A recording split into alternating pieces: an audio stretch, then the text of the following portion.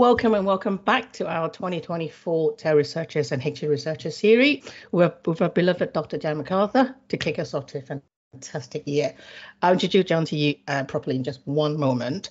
Uh, I'd like to introduce myself first, uh, my co-host, and the series in a little bit more detail um, because we have some uh, new faces who have joined us today. So once again, welcome and welcome back to our regular uh, friends. Um, so um, I'm Puyin. I am a PhD candidate with the um, Education Research Department at Lancaster University. I'm also the Innovation and Scholarship Manager at Queen Mary University of London. So John, would you like to say a few things? Hello, my name's John Brindle. I'm also a PhD candidate at Lancaster University on the e-research and TEL program. Uh, just started my data collection yesterday, so I'm very excited. Um, and I'm also a learning design manager at Edge, Edge Hill University um, in sunny Ormskirk. Thank you, John. Um, so, um, for those of you who have joined us before, uh, you might have noticed which seems to change the name again, and you are correct. Um, I think reflecting on how we've extended our invitation since the middle of last year to not just TEL researchers, um, but researchers who work in HE, often in more kind of uh, multidisciplinary context. Uh, it, it's including HE researcher hashtag is more appropriate. So I guess we're now officially called TEL researchers and HE researchers. Uh, you see from our promotional materials the two hashtags, we do use them sort of interchangeably in different places, uh, depending on which discipline, if you like, um, the speakers associate themselves with more. That's not to say they only work in one particular discipline, but for branding reason, we need something short and catchy rather than a thesis um, as our brand. Um, so um, just to explain the series in a little bit more detail. So the series is really about the stories of some of the established researchers the, the legends, if you like, the amazing stars in the world of education research, people who we look up to, people who we admire from afar, or in my case, sometimes once or twice down the corridor um, in Lancaster. I have done it before to, to stalk these um, amazing people, uh, people who we really want to have a conversation with and ask them questions like, How did you do it? How have you managed? So this is basically the rationale of the series. So it's not about a particular research output or a paper or a PhD application. We're not here to find your PhD, your PhD supervisor, although it has happened off of the back of the, the series. Um, it is really about our speakers reflecting on their career to date, the things they are most proud of, uh, career milestones, things that they wish they could have done differently or could have done more, people who have inspired them along the way. So it's really about the researchers themselves, the people, not the research.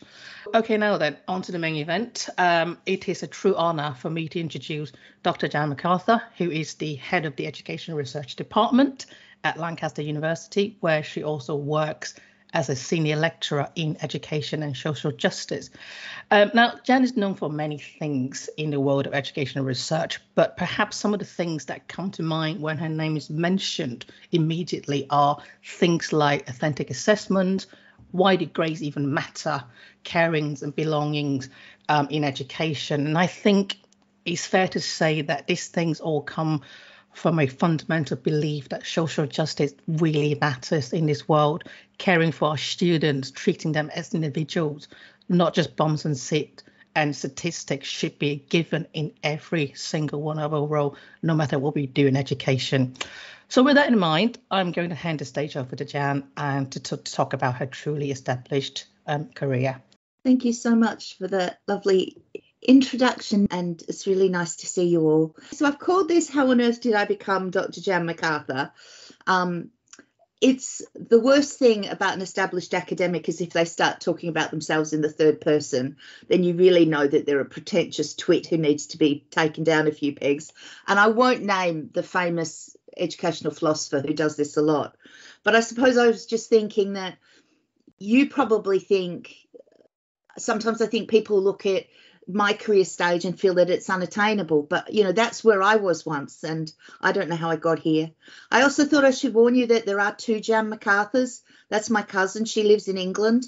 So be careful when you're out and about. There are, there are two of us. So here's where I'm going to start. Um, I grew up, I'm Australian, long hot summers, too hot to always be outside. So a lot of time just inside watching the cricket in summer, mainly Australia beating England, obviously. But what I did one summer is on the old typewriter that we had, I learnt to type. I learnt to type the old fashioned way with elastic band on an old piece of book covering the keys, and I learnt to type. And why I'm saying that, one of the best things that's ever equipped me for being an academic is being a really good typist. The amount of time it saves. So it's not too late, folks. If you want to make life easy, uh, probably wouldn't do it on an old Underwood, but I did. So then I'm going to bounce forward. There's going to be a lot of bouncing forward in my talk, and there's going to be a lot of sharing of books. So I want to bounce forward to to my school years, to at high school, and I was obviously Australia has changed a lot since my childhood and changed a lot in its relationship to Indigenous people and understanding of the land of Australia. But I was lucky enough that in my final year at school, studying Australian history, we studied Aboriginal pre culture and also the European so called settlement invasion. And this book was just a, a life changing book for me. And it was really a life changing book for Australia in terms of our history and our understanding of justice. And what Henry Reynolds did, because it, it, it had always been argued that Aboriginal Australians just lay down, that they were so weak and useless that they just lay down and let the Europeans take their land. And what Reynolds did through very careful research show that that wasn't true. If you looked at the frontier from the other side, it looked different. And I just, that lesson has stayed with me forever. That looking at it from the other side and how different it could look, but also just that this book, this book written by an academic, has changed lives, has helped some people out of poverty. There's still too many children, Aboriginal children, die in Australia, but there's fewer than there were before this sort of scholarship. And the other thing, there's this fabulous last chapter, which is really important to how we think about social justice issues. And he says, people just say, but it's a long time ago. Just forget it. It's too long ago. We can't do anything now. And he says, the irony of that in a country where every single country town has a memorial that says, lest we forget. You can't go to the tiniest country town in Australia and not see lest we forget. And Henry Reynolds pointed out that irony. So I suppose you're seeing here the root of my commitment to social justice. And this was all thanks to a teacher called Mr. Terry Hastings. And I wish I could find him in the world to tell him where I am now. At this time, I was also introduced to this painting, which is again about perspective. This is one of the first, this is the first European who went to Australia and tried to paint the landscape. So his techniques are all based on European trees. And you can see here there's a there's a weird sense of this picture, isn't there? It's sort of beautiful and you sort of can tell what it is, but it sort of doesn't look quite right, doesn't look quite real. And yet, of course, it is very real. It's a very real sense of this man trying to come to terms with this alien landscape.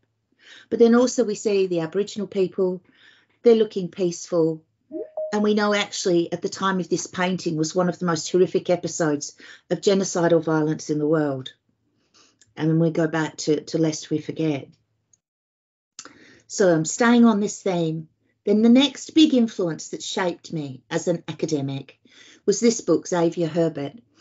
And again, it was one of the first where there was literature that was about Aboriginal people and their lives, and it was written in a genuine way. Probably it's a bit dated today, but I want to mention it because this, I'm going to talk about two intractable social justice issues. This author, who was this sort of little man, he was on Parkinson, Michael Parkinson's show, and Parky said to him, Oh, well, you know, what would you do if you could change anything to make life better for Aboriginal Australians? And Xavier Herbert said, Well, I'd get all the Europeans out, I'd get them to all go back, leave it. And then Parky did a little Parky laugh and said, Oh, well, that's not very realistic, is it? And Xavier Herbert said, But you said if I could do anything.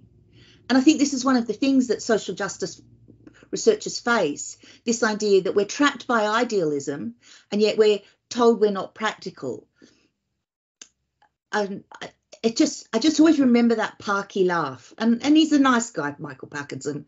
But it showed at the time this uncomfortable uncomfortableness with facing these intractable social justice issues. And then they have this book by Graham Greene, A Burnt Out Case. I'm nearly through the literature section, everyone. But this book is about a leper colony. And one of the things that it's, it's Graham Greene writes beautifully, but there's a part in it where they're talking about the fact that a cure's been found. There's a treatment for leprosy. And at the time, lepers are being cared for in this community run by nuns. And one of the nuns says, just without meaning anything bad by it, Oh, what a terrible shame. There'll be no one left to look after. So, again, I'm just putting that out as the sort of issues we face when we research social justice. Oh, my goodness, we might solve the problem. And over here, well, of course, we can't solve the problem. So, let me fast forward from my school days to university. So, I went to Monash University um, in Melbourne and I studied economics and politics in in a faculty that came out of the 1970s. So it was an economics and politics faculty. Um, it's gone now because the politics people decided they wanted to spend their time talking to other civilized people. So they wanted to go to the right side of the building where the arts people were. When they got there, they weren't very happy because then they found they weren't the only civilized people. It was much better being in the left where they could go around and say, we we read Nietzsche, whereas you know, and talk to the accountants and stuff like that. But it was a really great education, and it makes me very sad because I was one of the last generation to study economics as a diverse, exciting, colourful discipline. Um, but before the monetarists took over. So, in terms of my formative um, intellectual influences, there is, of course, Marx, because we're studying economics. But also, I want to stress I was taught microeconomics, the whole theory of supply and demand, by a Marxist. You can do that. We have that intellectual ability to hold certain views and yet understand the views of others. And that was so, was so wonderful about the faculty I was in at the time. Another great influence I was introduced to was E.P. Thompson, The Making of the English Working Class. This is a book of the most intimate detail of what life was like. And I use it as a as an idea of the different forms of social justice research we need. And I was also introduced at this time to E.P. Thompson's sort of slightly unusual book, The Poverty of Theory, which is a viscerating critique of Althusser which is interesting. And at the time I bought into, because I was told, oh, you know, read this, this is great. All of this theory stuff is nonsense. So you some of you who know me will realize this is a bit odd. And I'm now supervising someone who is looking to resurrect Althusser, and I'm so with him on this task. Other big influence, Plato at this time. I did a module on Plato and Aristotle, and I loved that close reading of text. And then, of course, Habermas at the time I was at university, Habermas ruled the world. He was the great intellectual thinker. He was the he was the progressive. It was all about critical theory, and critical theory was all about Habermas. And thank goodness so, I also read at the time this book, which hasn't dated, The Dialectical Imagination, which was Martin Jay's oops, Martin Jay's PhD thesis. And I remember reading it and thinking, oh, I could never write a PhD thesis like that. I mean, I probably still couldn't because this is a fabulous book and I didn't write it. But thank goodness I did know that there were other critical theorists before Habermas. It was at the back of my mind, ready for its moment later in life. I then worked for a brief time in the public service, like the civil service. So I made did briefing papers for the premier and stuff like that, and it was quite interesting. I did the whole power dressing thing in the 80s, the big earrings, the high heels, um, and then I left it all behind. So there's some big gaps in my story, which I'm not going to fill in. But I left it all behind um, and moved to Edinburgh. And actually, that top left window there, that was my flat overlooking St Giles Cathedral. And I went to Edinburgh because I was going to be a great novelist. That's why Hilary Mantel is here. I didn't know of Hilary Mantel at the time, but if I was to be a great novelist, I'd love to be her. And of course, I'm not, and I wasn't, and I won't be. But that's what I did. I moved here And so I just wanted part time work uh, because I was writing my great novel and I was going to be a brilliant novelist. Um, I got some very classy rejections, but that's as close as I got. So during this time, I took up a part time job in the Student Employment Service at the University of Edinburgh. The fir- I want to tell you on the first day of induction, I worked as an academic at Monash, by the way. I came to this, I was clearly in a clerical role because I was just doing a little small role. I went to induction, I was talking to a very nice man over the cup of coffee and all of that. And then suddenly they said, right, academic staff through that door, everyone else through that. That's what that's what academic life can be like for some people. And I remember that moment and I remember how belittled I felt by being told I was that door and not that door. And so this is one of my commitments in higher education to stop that. I know there are some of you who who suffer from that. And so I just want to say I was there. So I started my British university career on the very bottom grade you could be at. Um, so yeah, so that was a long time ago. And then fortunately, this person, now some of you, hopefully some of you know who this is. This is Jeff Haywood, one of the pioneers about um, online learning.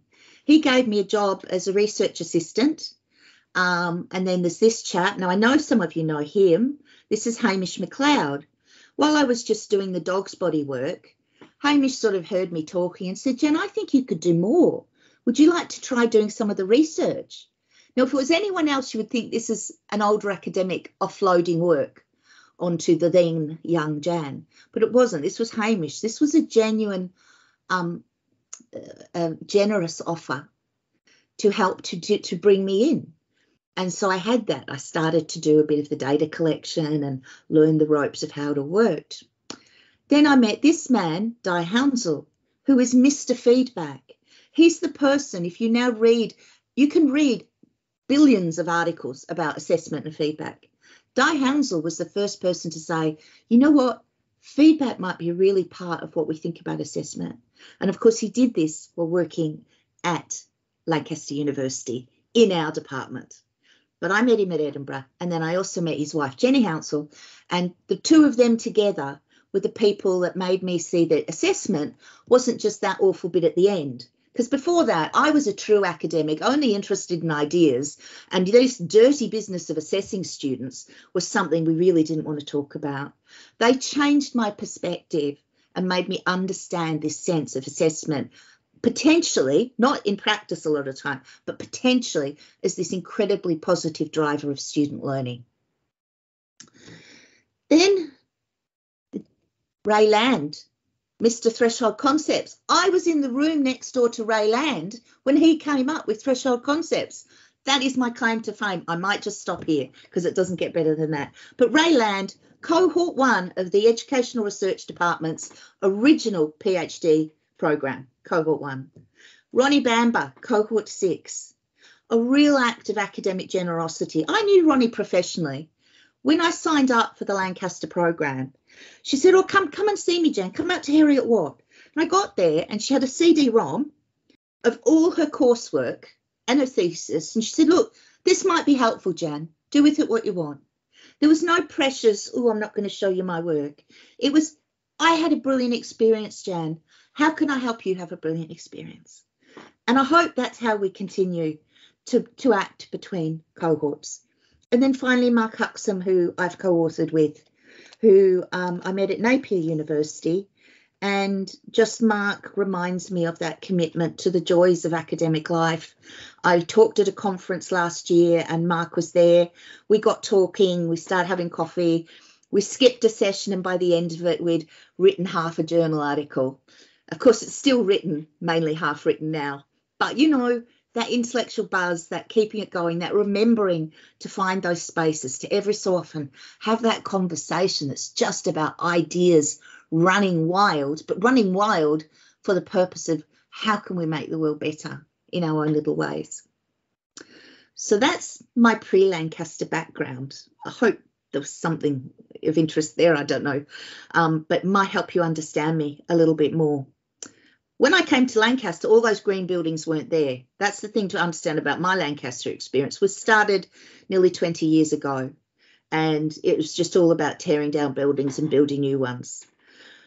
But I began at Lancaster and my first day, and it was so exciting. And it was the most exhilarating thing in my life to that point, apart from my children, obviously, I have to say that. And I did fairly well in the little small assignments that we had to do. But then we had on the, my program three big ones. And so the first one I was about education and work. So I had no idea what to write on. So I thought I'll compare how nurse and law lecturers talk about teaching and learning. I didn't have any particular interest in this, but I knew that what I had to do is I had to get data because data is what research is, isn't it? So I had to find a reason to get data. So that's what I did. And I wrote it up. And you know the Lancaster system, you get all that fabulous prelim feedback. It was utter rubbish but I got lots of help. I produced something that was utter rubbisher, worse. I got lots of help. Then I got one more chance. Well, no, there were more chances in my day. So resubmission, absolutely, completely, even worse than the first could have imagined.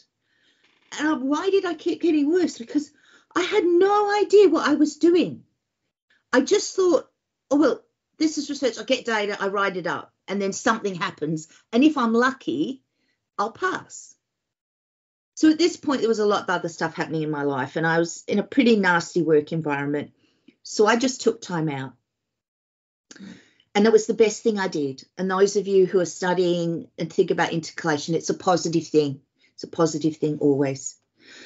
So that was me. In the history of all doctoral students, I'm the only one who progressively got worse and worse the more great, great feedback I got. That I just didn't understand what I was doing.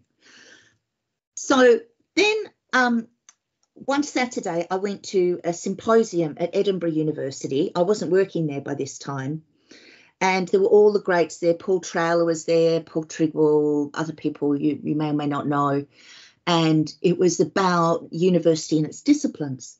And at the end, Carolin said, I'm going to put together a book proposal.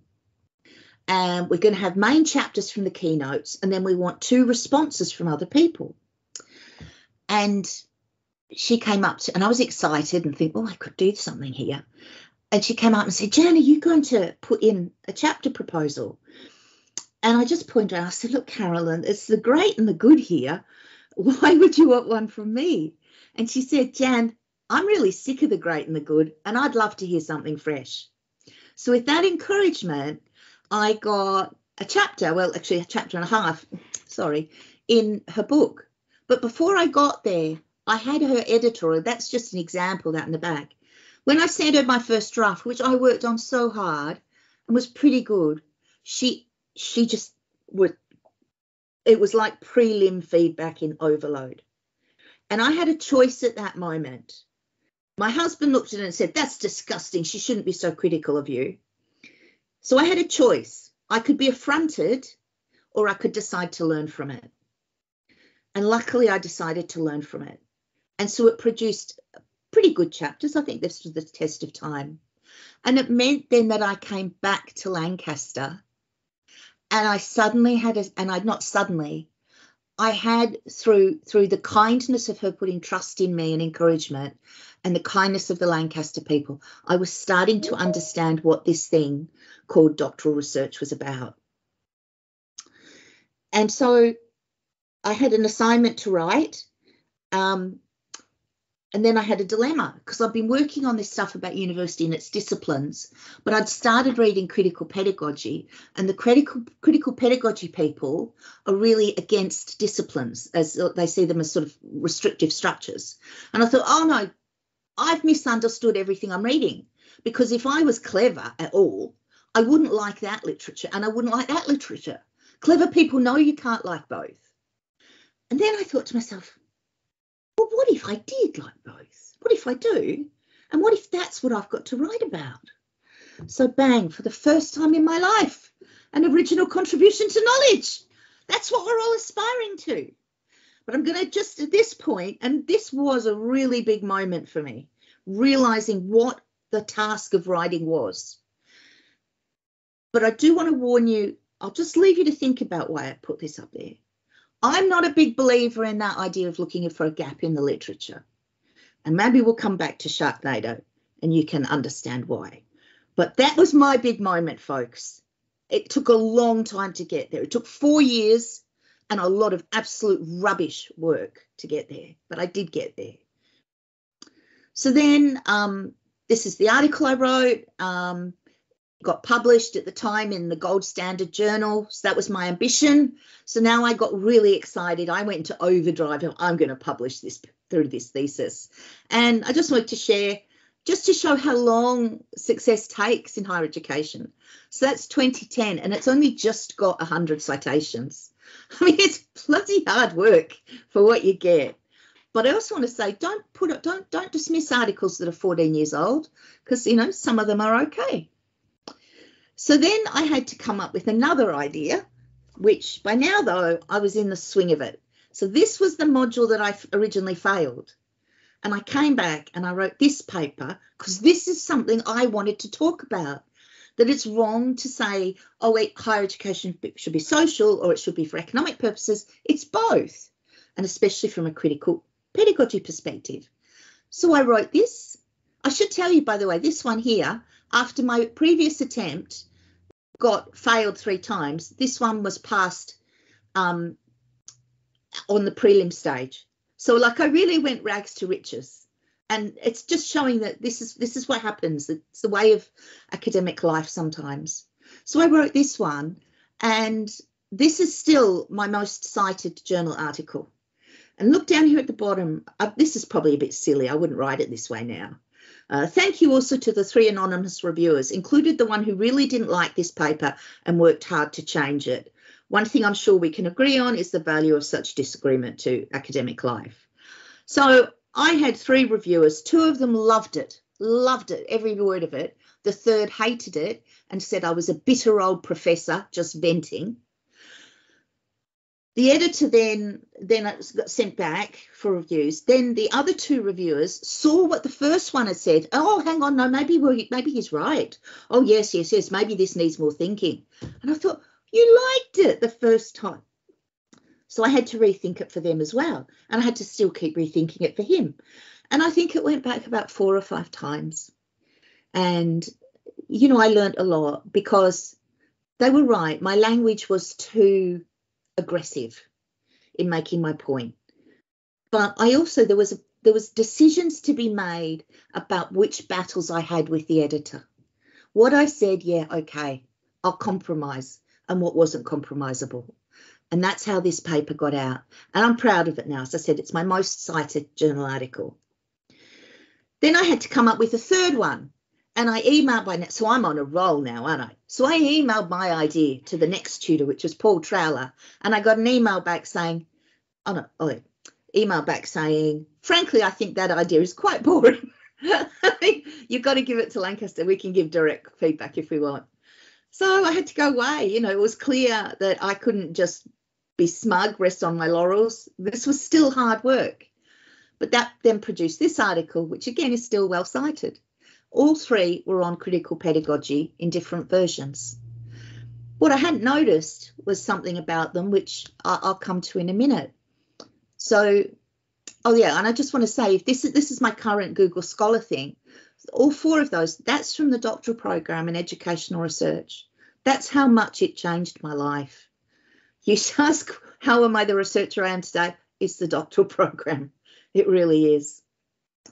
So then to the gestation of a thesis. So I wanted to critique learning outcomes, predetermined learning outcomes. Ah, bah, humbug. They're rotten. We must get rid of them. Um, that led me to start all this reading on critical pedagogy. Then reading on critical pedagogy got me to read about critical theory, because for those of you who don't know, critical pedagogy is, is about form, understanding education informed by critical theory. So I start reading critical theory. And then I discovered him. I, for some reason, uh, because my idea was that I was going to look at all these current critical pedagogues and I was going to trace back all their different influences, which was a stupid idea. But anyway, but it got me to this. For some reason, reading Adorno worked for me. It doesn't for everyone, and he has many flaws, I'm happy to admit, but I also think he remains a philosopher and thinker with a lot to tell us. And the dialectic of enlightenment, how our trying to dominate nature was going to destroy human beings. I think it's got some relevance today. So I went from so talking to my supervisor, Paul Ashwin. He only supervises the best, doesn't he, Vivian? No, all of our supervisors are great, as are all of our students. But so Paul sort of encouraged me to, well, why don't you focus on Adorno? Bring him to looking, and uh, I started to think about the nature of knowledge in HE. And then, what? I don't know what I'm doing. Then I was in an email discussion. This is this was all still sort of thinking about it with Paul Trowler again. And he said, Jen, that sounds like you're writing a conceptual thesis. I don't know you very well, but that would be highly unusual. And I thought, oh, so that's what I'm doing. And then I realized, of course, my three articles are all conceptual. I didn't write them to be conceptual. I just wrote what I had to write, what I wanted to write. So then I remember, oh, sorry, I keep going. Then I remembered this American politics in my second year as an undergraduate. And I wrote an essay on rebellion or revolution. What's the difference between rebellion and revolution? And I got a really good mark. And in the comments, the tutor said, Jan, you have a rare relish for conception. And in my mind, I had Paul Trowler at that moment, and I had well over 20 years ago someone writing, You have a rare relish for conception. And I thought, oh, So I do. I actually really do like that working with ideas. I do like taking concepts and playing with them. And that gave me the confidence to then go forward to my thesis and just quite directly do it as the thesis I wanted to write. And I didn't worry whether it was called conceptual or empirical. It didn't matter. I was pursuing an idea that I thought was worth pursuing. So that then led to the where we're all hoping to go. And you will get there one day, folks. And when you do, you will please make sure you get your thesis bound, even though you're not required to. And then you'll find that you'll want to cuddle it and hold it close. And, you know, yeah. So I'm immensely proud of this, but I am so grateful to this department. I can't tell you. So, and then all of that I did without data. All that data that in my first assignment I knew that was the that was how you did academic research. You got some data. Turns out that's not true. And so even though my work looks slightly unusual, like here's Henrietta, she's an odd looking bird. And so apparently my thesis was an odd looking bird, but you know what? It was okay. So that then led to my first book, which is largely my thesis. And here's my first question I want you to think about. Which comes first, the thesis or the book? because this is really important if you're currently writing your thesis and you want to write a book. So I'm looking at the time. Um, so then I had, there was a conference at Lancaster, a great conference. I'd encourage anybody who's working in the field of higher education to think about going to the, the HECU, the Higher Education Close-Up Conferences. And there were think pieces that you had to respond to. And so I just came up with something I wanted to write. And I came up with probably the best title I've ever written Virtuous Mess and Wicked Clarity Struggle in Higher Education Research. And I love this article and I think it's stood the test of time. But look, it's only had a thousand views in all these years. It's actually got quite a lot of citations. So people who viewed it tended to use it. Why no why so few citations? because back in that day, I was still so naive that keywords were just the annoying things that you were told you had to add. I didn't think what purpose they had. They just were annoying. So just throw some keywords down to get rid of these people. Now I know that that's not true. This is how people find your work. Really spend time on these. As the editor of a journal, this is what I advise people all the time. Look at your keywords. No one will find you. Was someone who wanted to search for clarity really looking for an academic piece on Adorno and social justice? Probably not. It's a waste of a keyword. That's why I have so few views. Then the 1st of December 2013, I attended an interview for a job as lecturer in education and social justice at Lancaster University. And in my presentation of my plans for research, I said I was going to research assessment for social justice. It was a concept I'd invented. Why'd I invented it? Well, I was working on assessment. This was about social justice. I was mainly an HE researcher, but I was going for a social justice role. I looked at the Lancaster people, and there's a lot of HE teaching and learning, but no one on assessment. So I thought, right, okay, well, there is a gap. This is this is where gaps work.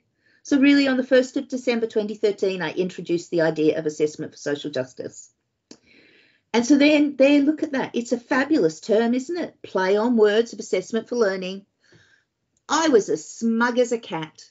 I knew I was going to rule the world because I'd got this great concept assessment for social justice. This is Daisy lying back because she knows she's got it all. Well, you know, an idea is a lot more than four words. And so I, I did have a good idea, but I actually didn't know what it was. It took a lot of thinking through. So again, I got the term. It took me ages to write this first article, um, ages and ages and ages. But it was, in a sense, me sort of putting a flag in the ground for this concept. But it hasn't turned out to be the concept everyone talks about.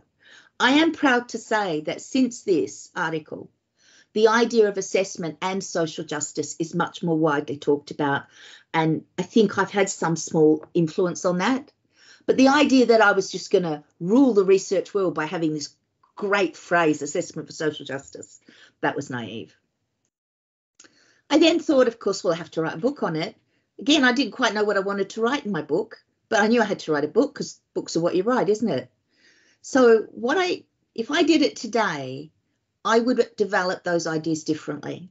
I would have spent more time on journal articles first, developing different aspects, and then going to a book. So which comes first, the book or the fame? I was chasing fame with my book, and I should have been looking at the book. Meanwhile, quickly, I never gave up on Adorno and Horkheimer, was writing bits and pieces on them. And then uh, about eight years ago, Paul Ashwin invited me to be part of the Centre for Global Higher Education. And we did two projects, really longitudinal projects over eight years, following undergraduates through in England, South Africa, and the US. And it was the most beautiful collaboration. And I've, I, it's a contrast to the Jan who can sit in her office alone with all her Adorno books and write something and write something maybe that's okay. And I love it. And this was the Jan where I was part of a research group, working with others, exchanging ideas and doing empirical research.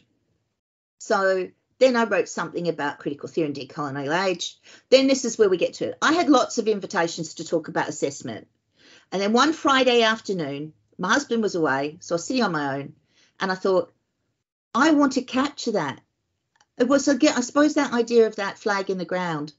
And so I decided I was going to write about authentic assessment because I'd been going around saying to everyone, you're all talking about it the wrong way. You've got it all wrong, all this world, real world rubbish. And I deliberately decided to target higher education because it was the best journal in the field. And so it was like an Everest for me. And I also wrote directly to that journal. I looked at how it had discussed these issues and it took about four weeks to get a credible draft. It was so fast. And it was so different to comparing how nursing and law lecturers talk about teaching and learning. The difference was I had something to say. I genuinely had something to say. And that made the writing easier. And so that's gone on. It's been quite a big journal article, um, lots of views, lots of citations, still get lots of invites. And so now I'm thinking, of course, I have to write a book on it. Well, we'll see about that. So I'm going to say goodbye from Henrietta, Gappy, Lucky, no, that's Bessie, a toad that a toad that lives in our garden, and Daisy being absolutely shameless, but with a tummy like that, why not? And then I'll leave you this: which came first, the good idea or the book? That was that was amazing. Thank you very much. Um, which come first, the cat or the chicken? That was that's my first question. I've had I've had cats since I was four years old. to the cats. Yeah, not this particular cat, but yeah, cats always. Cats in general. I've got a question for you, Jan. Talking about your professional life, well, what did it feel like when you? Because obviously you did your doctoral study at Lancaster and you went back to teach there. What did? How did it feel like when you first started working there? It must have been quite strange, right? It was really strange because I knew half the department really well, or roughly half the department. So I knew them really well. But the people I was going to work with, most of them were new. So, yeah, so it was half familiar and half not. And I would walk down the corridor and sort of feel like I belong, but then I was just the newbie to other people. But for me, it was it was such a dream come true. When the job was advertised, I was on a mission night and day I was preparing for that job because I just that was my job. Um, and there was all sorts of hurdles and difficulties and because I still live in Scotland. Um, but I asked my boys who were young, would you mind if mummy was at Lancaster some of the week? And they said, we'll make you happy, mummy? I said, yes. And they said, well, that's what you have to do, you know, because they'd seen me work in an unhappy place. I made a promise to myself a long time ago to only work with nice people doing interesting things. So getting the job for me was just that coming true. I mean, honestly, I know it sounds a bit saccharine, but I can't I can't say it any other way. That's really that's really amazing. Um, because um, as, as Jan and I, I'm going to make it probably Had a quick banter online. I said in about three years' time, see me a spot. So I, am just gathering there. um, we've got um, Sue's got her hand up. So would you like to come to the mic and Thank you. Um, it, it's a thank you actually to, to Jan for sharing that story. And it makes me quite emotional because I've had a bit of a roller coaster ride. Um, started the educational research PhD at Lancaster in during COVID, and yeah, it was it's been a, a difficult journey, but also a learning journey. And I can't tell you how much you and Anne Marie have made a difference to not just me but to the to the cohort. So I just want to say thank you so so much because I'm still going. I intercalated, but I'm back, and hopefully, yeah, can keep keep going. I think I can I can certainly um, relate to Sue. I mean, last year had a really tough year, but I refused to take time off. That that's just me being stubborn. That's got nothing to do with you know and it's because of my supervisor Paul and Dan and everyone. It's just the supportive kind of environment that that is something that I didn't think it would be for for a PhD study because we've heard horrible stories about how PhD students get treated like shit. That is absolutely not the case with the department. And this is why partly the reason why this series is still going strong because of the support from everyone from the department. John, you you normally have a few questions to ask. It's your critical theory. Go on. You know you want to. Do you know what? I'm, I'm just I'm I'm just blown away. So I'm it's really good. It's really nice to hear your story, Jan, because I've only I think I've met you in person once and, and, chatted to you once, and my thesis changed totally after that actually, but it's fine. but um, it was.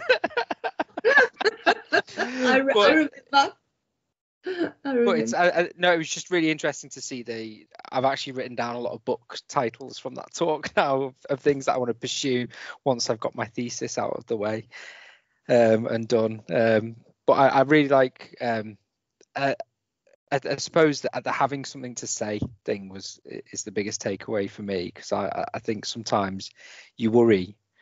And I don't know, but how do, how do you get over that worry that what you want to say isn't necessarily what people yeah what people would be interested in.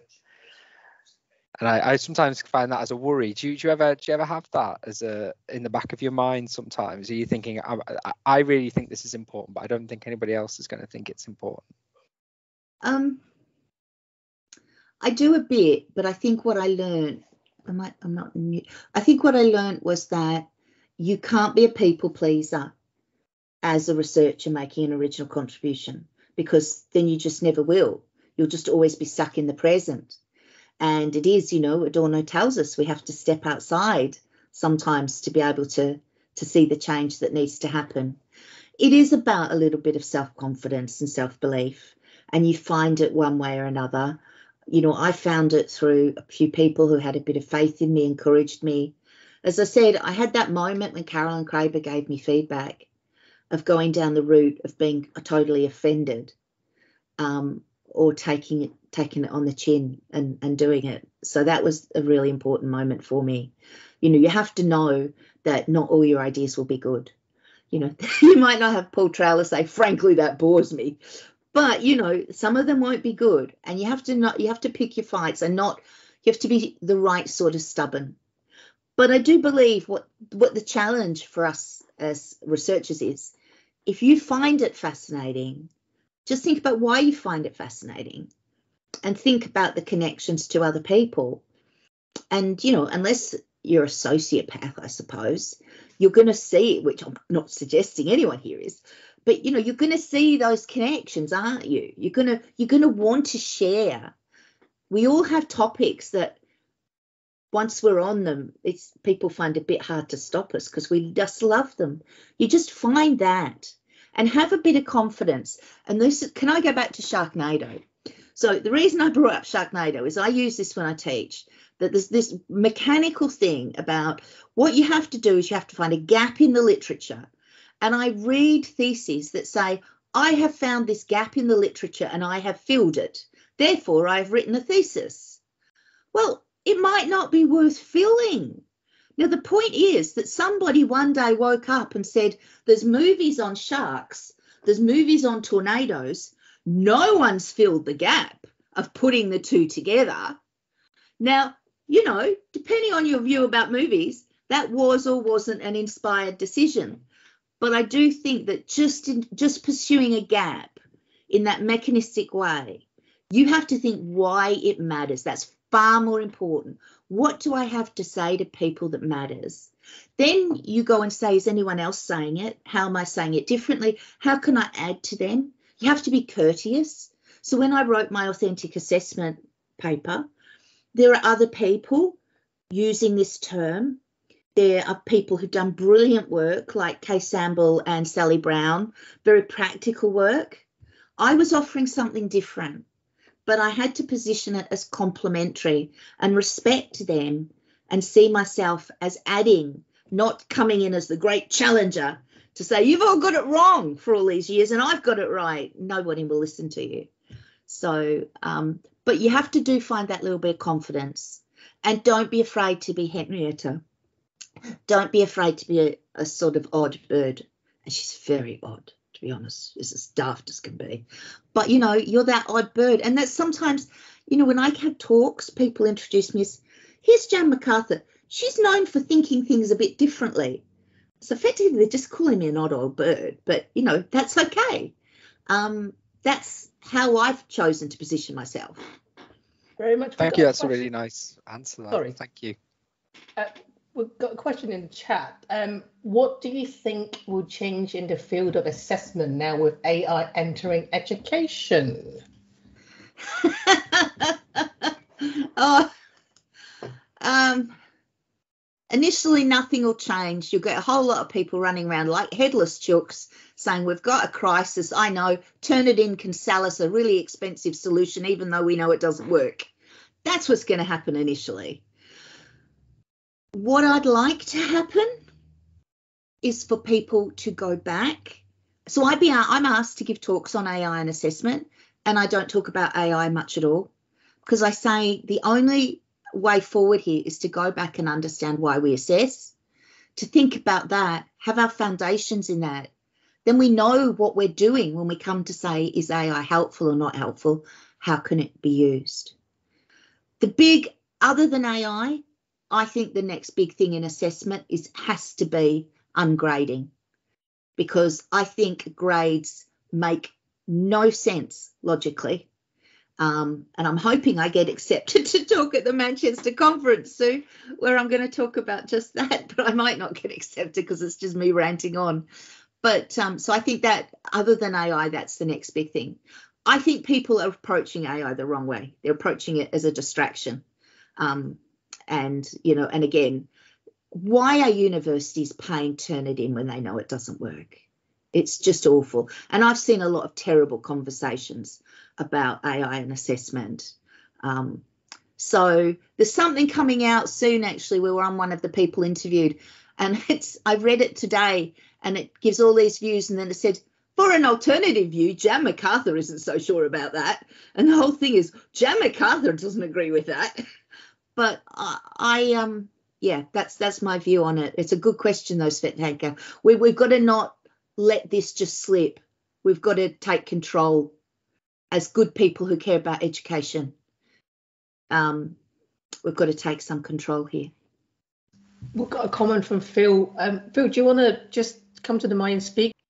Yeah, I've been I've been trying to think through um, what the consequences of uh, AI might be, and one of the things that it strikes me is is we have a pretense in HE, um, or at least my perception is we have a pretense um, that we know what we're doing, um, and that may be the case in groups like us in terms of reading the literature and thinking these things through. But um, actually, when I'm supporting departments and at the coalface, I'm not as convinced that there's um, that we're being honest about what we're doing uh, as a sector. Um, and I think AI is really highlighting a lot of things. You know, the the fact that um, these so-called AIs can actually write stuff that get through the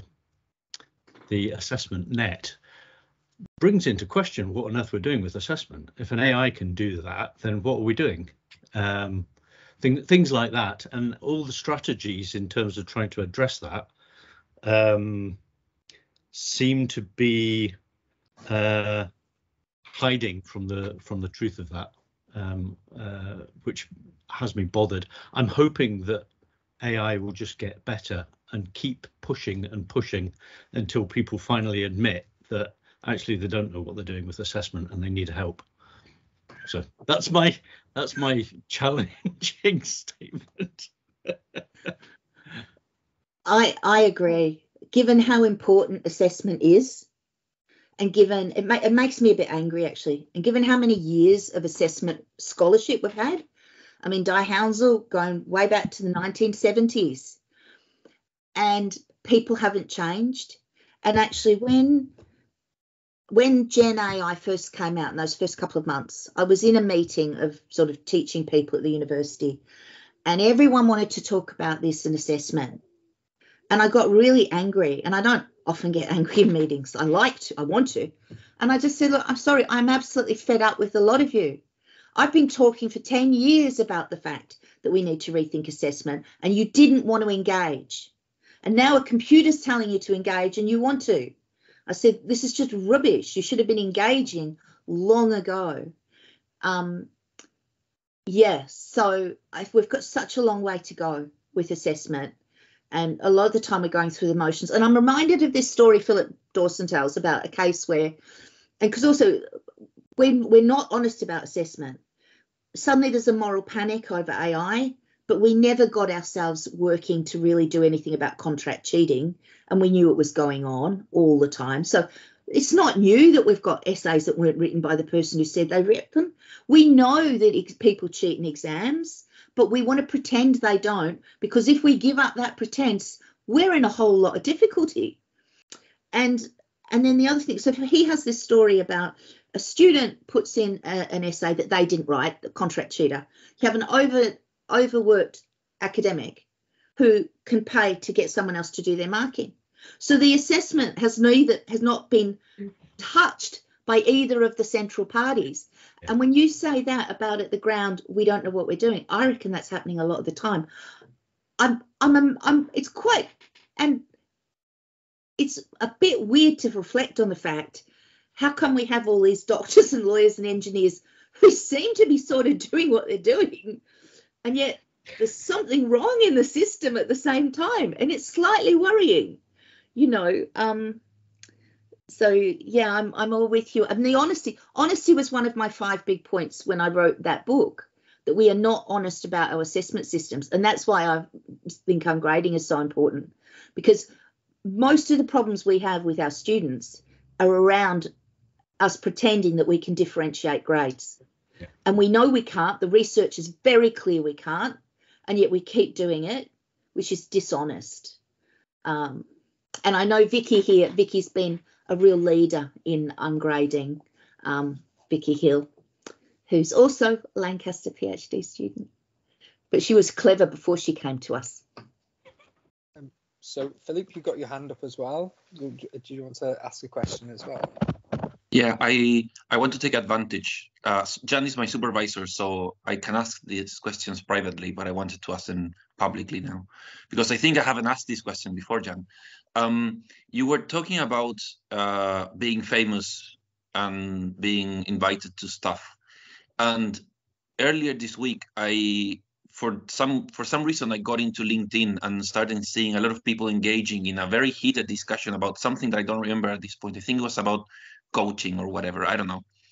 Um, so I wanted to ask you. I know it's slightly off topic, but I wanted to ask you, Jan, in your position now, um, what do you think about us academics engaging in public forums such as X now or LinkedIn or whatever like that? Um, I'll leave it. I'll leave it up to you. What do What do you think?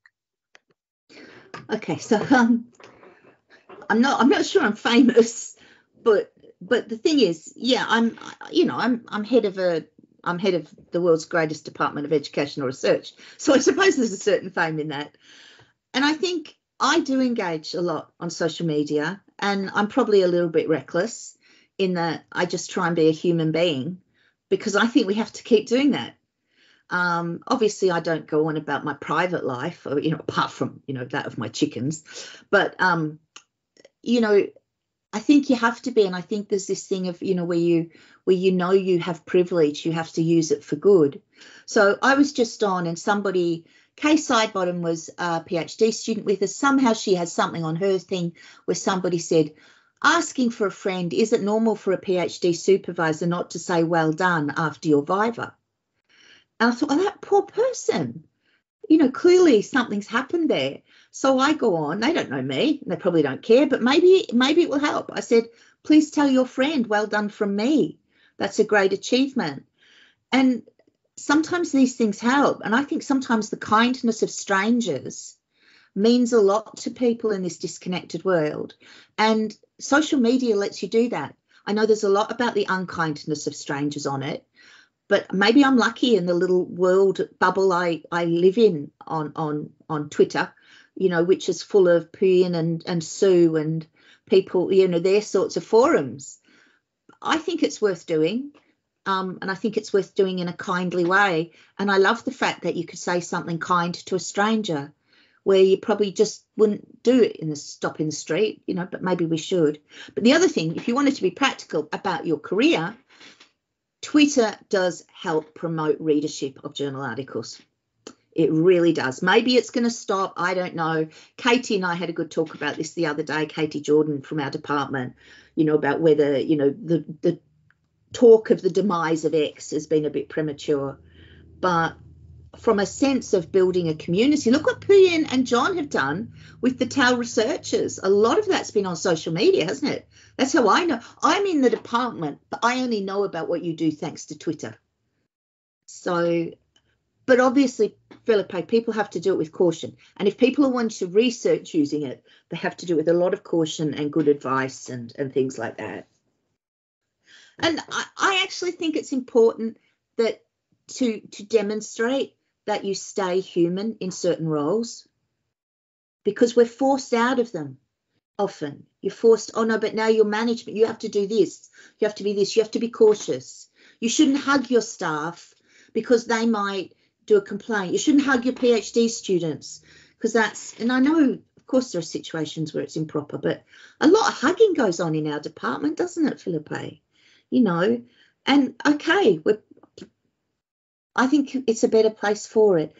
So there's that sort of caution. And I think that's important because, you know, when you think about, I mean, Paul Ashwin is one of the greatest scholars in his field in the world. And yet, there he is. He's supervising. He's he, what you said about him online was just beautiful about the courtesy that he showed And you know, it gets back to that idea of one of the things I think our department's tried to do is to democratize PhDs. They're not just for clever, clever people. They're for, you know, there is no such thing. They're for people who are excited about knowledge and scholarship and want to make a contribution.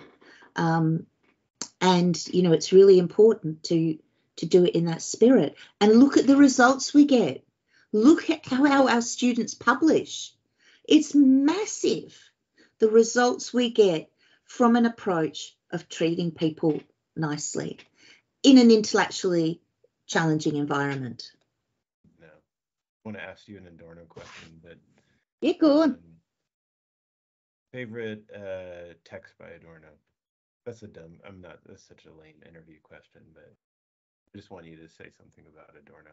I like Adorno. Well, I go back to Minima Moralia a lot. That was for people who don't know. That's a little book of little aphorisms, um, and and they're they're really interesting to read. But I suppose my must read is is um, what's it? Criti- critical models. Um, it's got two titles: critical models, and it's got a series of essays. It's got the essay on theory and practice um, and that's there's a lot in that that I really really like. You know, there's the more obvious ones, but but that probably would be a sort of a favourite. Um, I also really enjoyed reading his letters, letters to Thomas Mann and to different people, and and it's really interesting that the the the the essay in it on theory and practice was meant to be a lecture, and this was when Adorno was famously protested against by students in the 60s. And so he never gave the lecture. And they were protesting because they said he was all theory, not practice. And his whole, this, if you read this, it's about the interrelationship between theory and practice. And he's saying, I can't do practice. Well, he said in other places too, you can't do practice without thought, and you can't do thought without doing. And and that was his. And also he felt that this sense of him being forced to act was it was itself a form of oppression that reminded him of earlier times. So, you know, this idea of this, you know, it's a real social justice issue. Should we force people to do something just because we think it's the right thing?